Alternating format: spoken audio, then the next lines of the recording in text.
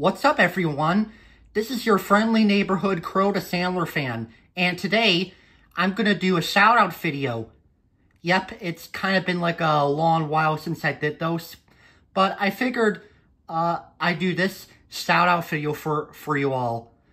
Uh, today's shout out goes to this really awesome YouTuber. His name is Matt Neff. He is the creator of the series called FUDW a lot a, a lot of you have to check him out, especially to those who grew up watching Arthur, just like me.